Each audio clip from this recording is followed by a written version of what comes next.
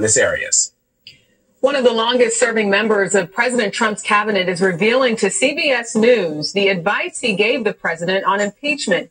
Housing and Urban Development Secretary Dr. Ben Carson says he spoke with the president about not giving up, calling the impeachment very immature.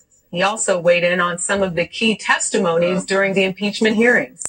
Uh, Throughout the impeachment process, we saw and heard from career civil servants. You work with a lot of career civil servants here. Do you have any reason uh, to doubt that foreign service officers who testified in the impeachment proceedings weren't telling the truth? Well, I mean, they're people. Uh, do people have various reasons for doing things that are not uh, fair? Of course they do. What we really need to be thinking about is the whole concept of fairness. In a wide ranging interview, Secretary Carson also explained why he has concerns about possible reparations for descendants of slavery. When you think about the conversations that have happened regarding reparations, do you think that's something worth considering when you look at the uh, inequity with African American wealth versus white Americans? What I would say about reparations is, you know, show me a mechanism that works. You know, I did my DNA analysis. Okay, I'm 77% sub-Saharan African, uh, 20% European, 3% Asian. Um, so how do you proportion that out to everybody? People, if you can prove you're a descendant of a slave, though, do you think it's worth yeah, but having what a percentage of money do you get? What percentage of reparation? No one is ever going to be able to work but nobody out. considered percentage of what black people look like in the civil rights era. They didn't say, well, we're not going to discriminate against you because you might be partially this or partially that. Proportionately, uh, you're not going to be able to figure it out. And where do you stop it?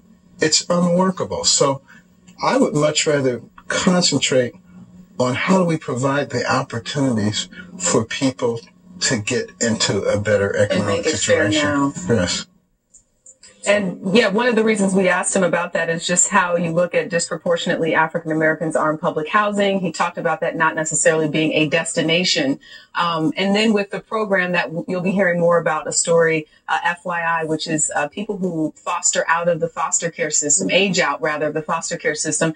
Uh, 20% of them end up homeless immediately. Mm. So they've started a program at HUD that will allow people in those situations to have a voucher and have subsidized housing for up to three years. But again, giving them something based on the life that they've had and the statistics. So I asked, you know, and seeing what we've seen with African Americans, the, the, the, wealth gap, um, is that something that he saw as, as something worth having a conversation about? And as you heard there, uh, he just said it, it's too complicated.